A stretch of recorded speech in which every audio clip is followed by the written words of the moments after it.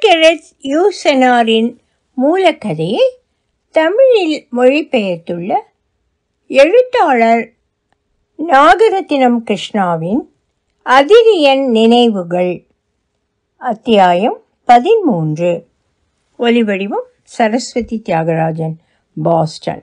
நாற்பது வயதை நான் நெருங்கிக் கொண்டிருந்த காலகட்டம் அது. அந்த வயதில் நான் இறக்க நேர்ந்தால் அதிகபட்சமாக என்ன நடந்திருக்கும்? அரசாங்க முக்கிய அதிகாரிகள் பெயர் வரிசையில் நானும் இடம் பெற்றிருப்பேன். அதுபோக ஏத்தன்ஸை சேர்ந்த ஆர்கோன் மேஜிஸ்ட்ரேட் என்ற வகையில் மரியாதை நிமித்தமாக கிரேக்க மொழியிலும் என்னை பற்றி பதிவு செய்திருப்பார்கள். இப்படியானதொரு குழப்பமான சூழல் வாழ்க்கையான பிறகு நடுவயதை அடைந்த மனிதன் ஒருவனின் மறைவை காணும்தோறும் இவ்விஷயத்தில் இறந்தவனுடைய வெற்றி தோல்விகளை துல்லியமாக அளவிட முடியும் என்கிற பொதுமக்கள் நம்பிக்கையை வைத்து நான் நினைவுபடுத்த முடிவது அந்த வயதில் எனது கண்களுக்கும் என்னுடைய சிநேகிதர்களின் கண்களுக்கும் மட்டுமே நான் உயிர் வாழ்ந்ததும் அந்நண்பர்கள் என்னை எப்படி ஒரு சில சமயங்களில் சந்தேகித்தார்களோ அதுபோல நானும் என்னை நானே சந்தேகித்தேன் என்பதும் ஆகும். இறப்பதற்கு முன் இந்த உண்மையை ஒரு சிலரே உணர்கிறார்கள் என்பதையும் நான் புரிந்து கொண்டேன். அவர்கள் தங்களின் கடமையை முழுமையாக நிறைவேற்றாமலேயே இறக்கிறார்கள் என்கிற முடிவுக்கும் பரிதாபமாக நான் வந்தேன். விரக்தியான இவ்வாழ்க்கை ஊட்டிய அச்சம் ஒரு விஷயத்தில் எனது சிந்தனையை ஸ்தம்பிக்கச் செய்து அதனை சீழ்பிடித்த கட்டியாகவும் உருமாற்றியது. பலனாக காதல் வயப்பட்ட ஒருவன் உண்ணவும் உறங்கவும் சிந்திக்கவும் ஏன் தன் காதல் உறவை கூட உரிய சடங்குகளோடு பூர்த்தி செய்யவும் மறப்பது போல என் அன்றாட வாழ்க்கையை அதிகாரத்தின் மீதான வேட்கை மாற்றியது. எதிர்காலம் குறித்த முடிவுகளை எடுக்க உரிமையற்று இருக்கிற சூழலில் மிக அவசரமான பணிகள் பயனற்றவையாக எனக்கு தோன்றின. அரசுக்கு பயனுடனவாக இருப்பதற்குரிய ஆர்வத்தை நான் திரும்ப பெற வேண்டுமெனில் வருங்கால ஆட்சி என்னுடையதென்கிற உத்தரவாதம் எனக்கு வேண்டும். சில வருடங்கள் கழித்து ஒருவித மகிழ்ச்சி போதையில் வாழவிருந்த அந்தியோக்கியா அரண்மனை எனக்கு ஒரு சிறைச்சாலையாகவே அன்று இருந்தது. இன்னும் சொல்லப்போனால் அதனை மரண தண்டனை விதிக்கப்பட்ட கைதியின் சிறைக்கூடம் என்றும் தெரிவிக்கலாம். எனக்கு குறி சொல்லிகளுக்கும் ஜூபிட்டர் அம்மோன் கஸ்டாலியா சியுஸ் டொலிஷ்னுஸ் ஆகியோருக்கும் ரகசிய செய்திகளை அனுப்பினேன். பாரசீக சமய குருக்களான மேகி குழுவினரை வரவழைக்கவும் ஏற்பாடு செய்தேன். அந்தியோக்கியாவில் சிறுவியில் அறையப்படுவதற்கென ஒரு குற்றவாளி நிலவரையில் அடைக்கப்பட்டிருந்தான். சிறையிலிருந்து அழைத்து வரப்பட்டிருந்த அவனை என் முன்னிலையில் ஒரு மந்திரவாதியை கொண்டு நெஞ்சினை பிளக்க வைத்தேன். அவ்வாறு பிளக்கப்படும் போது வாழ்விற்கும் மரணத்திற்கும் இடையில் ஒரு நொடி அலைந்து கொண்டிருக்கும் அவனுடைய ஆன்மா எனது எதிர்காலத்தை கணிக்கும் என்பது நம்பிக்கை. சிலுவையில் அறையப்படவிருந்த அக்குற்றவாளி தான் படவிருந்த நீண்ட வேதனையிலிருந்து தப்பிக்க முடிந்ததே அன்றி அவனுடைய ஆன்மாவிடம் கேட்ட கேள்விகளுக்கு எவ்வித பதிலும் இல்லை.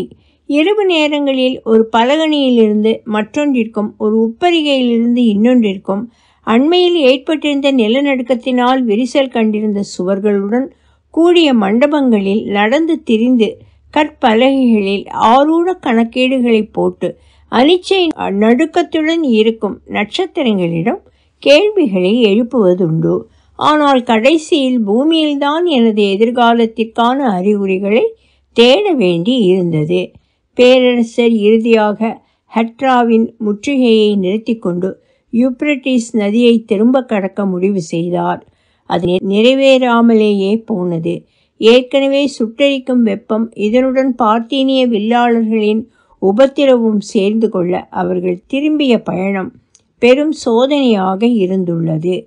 ஒரு சுட்டரிக்கும் மே மாத மாலையில் நான் நகரத்தின் நுழைவாயில்களுக்கு வெளியே ஓரோன்டஸ் நதிக்கரையில் நலிவுற்ற நிலையில் பேரரசர் அட்டியானூஸ் மற்றும் அரச குடும்ப பெண்கள் என்கிற சிறு கூட்டம் காய்ச்சல் பதற்றம் சோர்வு ஆகியவற்றால் பாதித்திருக்க கண்டேன். மன்னர் திராயான் அரண்மனைக்கு தான் குதிரையில் திரும்ப வேண்டுமென தெரிவித்த போதும் அதற்குரிய உடல்நிலையில் அவர் இல்லை. வாழ்க்கையை நன்கு அனுபவித்த ஒரு மனிதர் மரணம் நெருங்குவதாலோ என்னவோ நாங்கள் அறிந்த மனிதராக இல்லை. மெய்யியலாளர் கிரிட்டோவும் மன்னரின் மருமகள் மத்திதியாவும் படிகட்டிகளில் ஏறவும் படுக்கவும் உதவி செய்தவர்கள் அருகிலிருந்தும் அவரை கவனித்து கொண்டிருக்கிறார்கள். அட்டியானூஸும் புளோட்டினாவும் சுருக்கமாக பின்னர் நடந்தவற்றை தெரிவித்த போது இவ்விவரங்களை அவர்கள் கூறவில்லை. தெரியவந்த இச்சம்பவ தகவல்களில் ஒன்று என்றுமே நான் மறக்க முடியாத சொந்த நினைவுகளில் ஒன்று குறியீடுகளில் ஒன்று என கருதும் நிலைக்கு என்னை தள்ளி மிகவும் நெகிழச் செய்தது. பாரசீக வளைகுடா சாரக்ஸ் கடற்கரைக்கு வந்து சேர்ந்ததும் கடினமான உப்பு தண்ணீரை பார்த்த வண்ணம் உட்கார அயற்சியிலிருந்து மன்னர் விரும்பினார். தமது வெற்றிகளில் இன்னமும் அவர் நம்பிக்கை கொண்டிருந்த காலம் அது. எனினும் முதல் முறையாக அவர் வாகை சூட நினைத்த உலகம் எளிதாக வெல்லக்கூடிய அளவிற்கு சிறியதில்லை என்பது உறுதிப்பட்டிருக்க சோர்வுற்றிருந்தார் தவிர வயதளிக்கும் உணர்வும் நமக்கென்றுள்ள வரம்புகளும் கட்டுக்குள்ள அனைவரையும் வைத்திருக்கின்றன. எந்த மனிதர் ஒருபோதும் கண்ணீர் சிந்த போதாதவர் என நாங்கள் நினைத்திருந்தோமோ? அவருடைய சுருக்கம் நிறைந்த கன்னங்களில் அன்று கண்ணீர் பெருக்கெடுத்து வழிந்தது.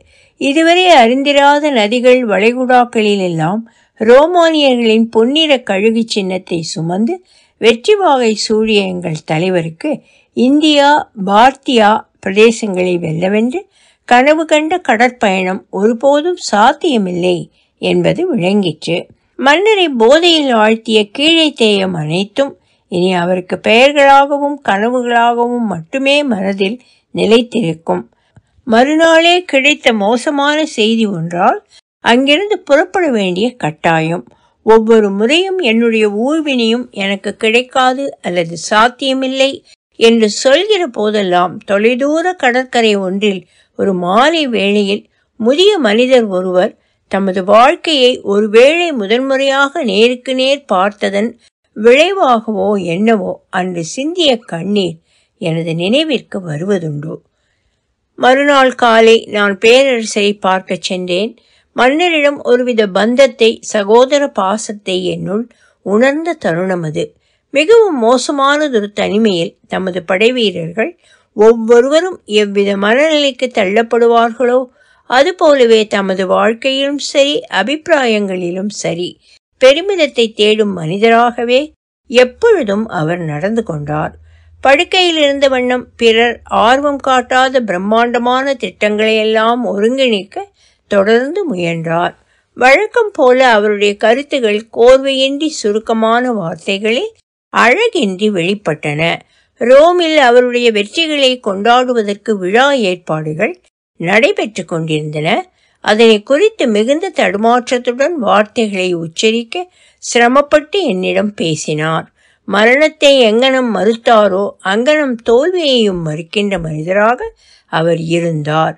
இரண்டு நாட்களுக்கு பிறகு இரண்டாவது முறையாக அவர் தாக்குதலுக்கு ஆளானார். இந்நிலையில் அட்டியானஸுடனும் புளோட்டினாவுடனும் எனது கவலைகளை மீண்டும் பகிர்ந்து கொள்ள வேண்டி இருந்தது. பேரரசியின் தொலைநோக்கு பார்வை எனது முன்னாள் தோழியை சக்தி வாய்ந்த பிரட்டோரியன் காவற்படை தலைமைக்கு உயர்த்தியதன் விளைவாக பேரரசின் காவற்படையின் முழு அதிகாரமும் எங்கள் கையில். மத்திதியா படுத்த படுக்கையாக இருந்த மன்னரின் அருகே அவரை விட்டு நீங்காமல் கட்டில் அருகே இருந்தார்.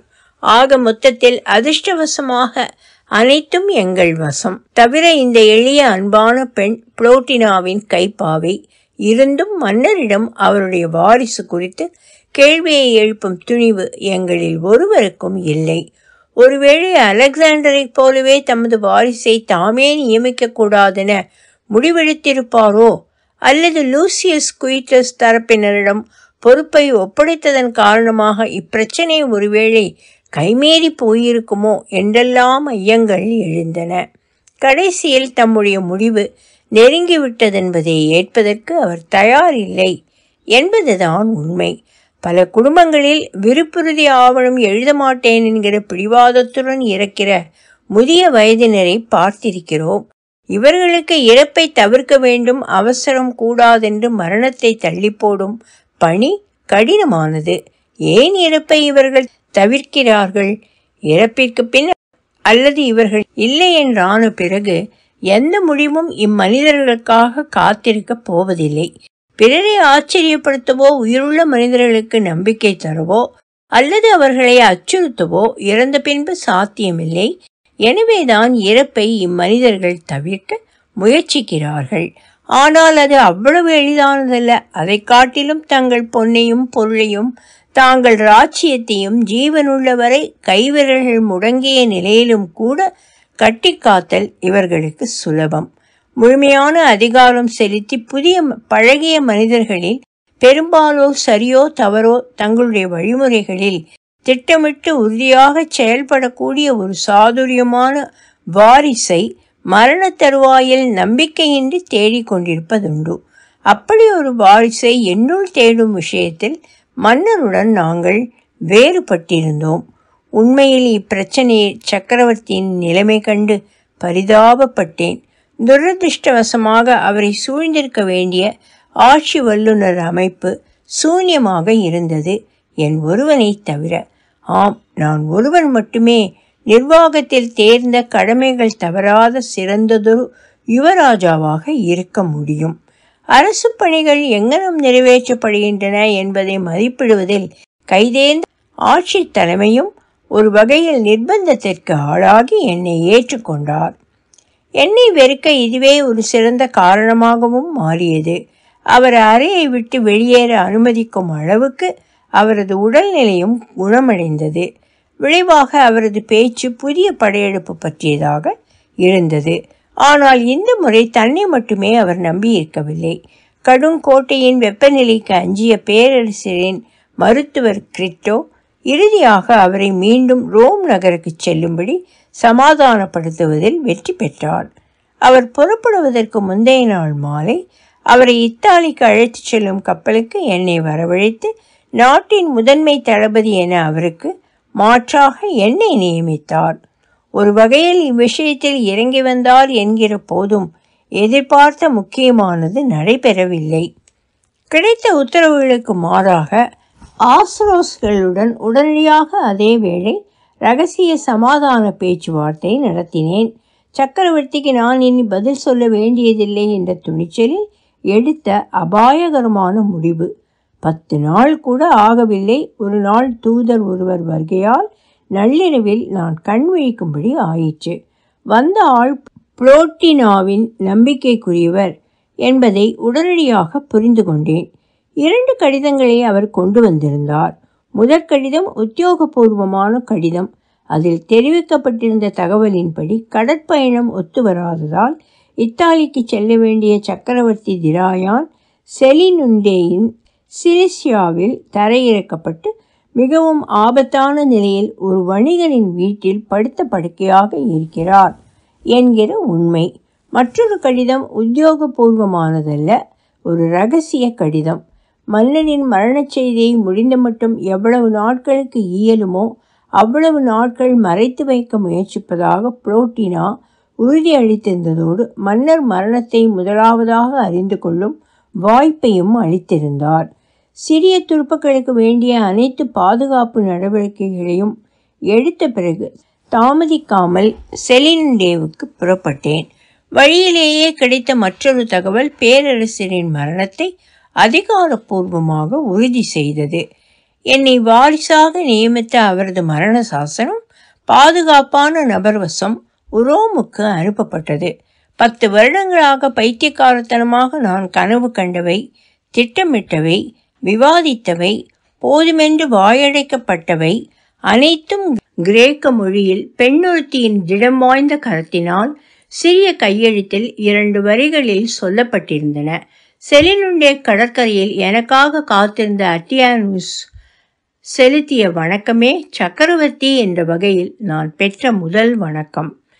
இங்குதான் உடல்நிலை சீர்குலைந்து மன்னர் கப்பலிலிருந்து கரை சேர்ந்ததற்கும் அவர் இறக்கும் தருணத்திற்குமான இடைவெளியில் என்னால் மேலுருவாக்கம் செய்வதற்கு இயலாத வகையில் தொடர்ந்து சில நிகழ்ச்சிகள் நடந்தேறின. அவற்றில் ஒன்றே எனது விதியையும் தீர்மானித்தது. அட்டியானூஸும் சில பெண்களும் வணிகரின் வீட்டில் கழித்த அந்த சில நாட்கள் என்னென்றைக்குமாக முடிவு செய்ததென்னவோ என்னுடைய வாழ்க்கையை இருந்தும் நிரந்தர பிரச்சனையாக அது இருக்கும் என்று தோன்றியது. அதாவது பின்னர் நைல் நதியின் ஒரு குறிப்பிட்ட பிற்பகலுக்கு நேர்ந்தது போல அதை குறித்தும் முழுமையாக அறிவதற்குரிய வாய்ப்பு ஒருபோதும் எனக்கு கிடைக்கவில்லை. இருந்தும் இவை அனைத்தும் முக்கியமானவை. நான் முன்னமே தெரிந்து வைத்திருக்க வேண்டும். அடுத்தவர் விவகாரங்களில் ஆர்வம் கொண்ட எந்த ஒரு ரோமானியரும் என்னுடைய வாழ்க்கையில் இந்த அத்தியாயங்கள் பற்றி தனக்கென ஒரு அபிப்பிராயம் கொண்டிருப்பார். ஆனால் நானும் பிற மனிதர்களின் இது போன்ற பிரச்சனைகளை மிக குறைவாகவே அறிந்திருக்கிறேன். மரணத் தருவாயிலிருந்த சக்கரவர்த்தியின் வலியையும் வேதனையையும் சாதகமாக பயன்படுத்தி கொண்டு எனக்கு அதிகாரம் அளிக்கும் வகையில் மோசடி சாசனத்தை எழுதச் செய்ததாக புளோட்டினா மீது என் எதிரிகள் குற்றம் சுமத்தினார்கள். மோசமான அவதூறுக்கு சொந்தக்காரர்களே ஒருபடி மேலே சென்று திரையிட்ட கட்டில் ஒளியை அதிகம் சிந்தாததொரு விளக்கு இவற்றுடன் மருத்துவர் கிரிட்டோ இறந்த சக்கரவர்த்தியுடைய குரலில் சொல்ல எழுதப்பட்டதே இக்கடைசி விருப்ப சாசனம் என்றார்கள். ஃபோர்டிம் என்பவர் மன்னரிடம் இறுதி வரை விசுவாசமிக்க ஊழியராக பணியாற்றியவர் ஆனால் என்னை வெறுக்கும் மனிதர். இந்நிலையில் அவர் தன் எஜமானில் இருந்த மறுநாளே கொடிய காய்ச்சலுக்கு பலியானார். இச்சம்பவத்தை ஒரு சிலர் அந்த ஊழியரின் மௌனத்தை விலை பேசுவது என்னுடைய நண்பர்களுக்கு இயலாத ஒன்றெனவும் அத்தகையவர் திடீரென இறக்க நேர்ந்தது உண்மையில் எங்களுக்கு மிகவும் அதிர்ஷ்டமென்றும் வாதிட்டனர். இது போன்ற கற்பனை சித்திரங்களில் வன்முறையும் மனித மனங்களில் ஆவலை தூண்டும் செய்தியும் உள்ளன. சராசரி மனிதர்களை மட்டுமல்ல என்னிடத்திலும் இவை தாக்கத்தை ஏற்படுத்துகின்றன. இவ்விஷயத்தில் என் பொருட்டு ஒரு சிறிய எண்ணிக்கையில் நேர்மையான மனிதர்கள் சிலர் குற்றம் செய்யவும் துணிந்திருந்தார்கள்.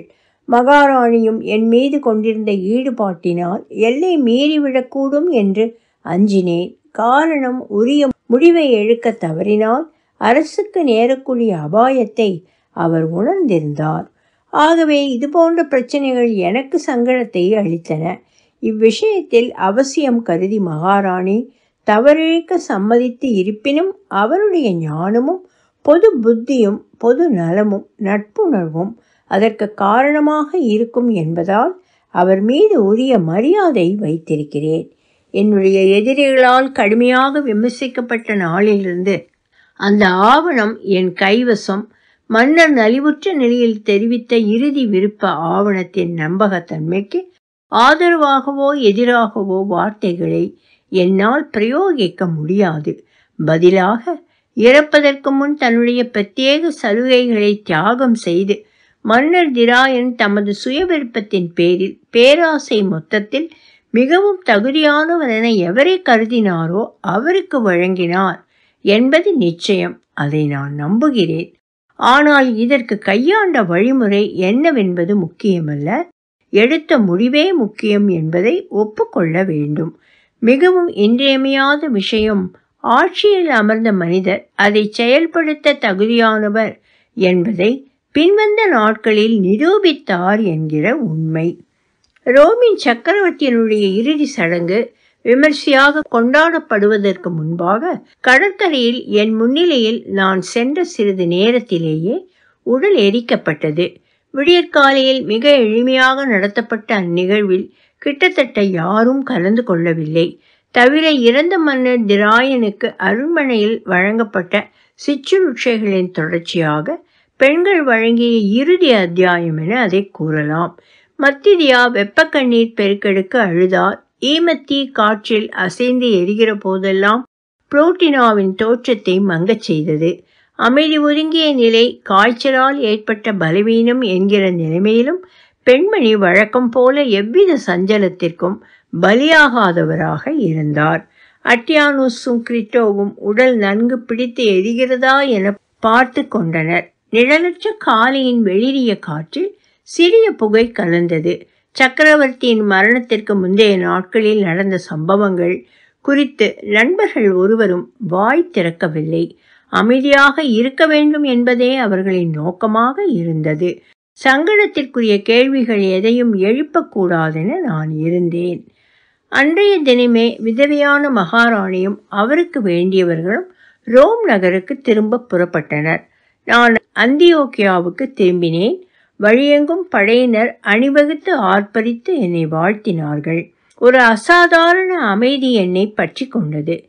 லட்சியமும் அச்சங்களும் கடந்த கால கொடூர கனவுகளாக தெரிந்தன. எது நடந்தாலும் எனது அரசுரிமை வாய்ப்பை இறுதி வரை கட்டி காப்பதென்பதில் உறுதியாக இருந்தேன். ஆனால் தத்தெடுக்கும் செயல் எல்லாவற்றையும் எளிதாக்கியது. எனது சொந்த வாழ்க்கை பற்றிய கவலைகள் இனி இல்லை என்றாயின. பிற மனிதர்களை குறித்து என்னால் மீண்டும் சிந்திக்க முடிந்தது. தொடரும் ஒலிவடிவம் சரஸ்வதி தியாகராஜன் பாஸ்டன்.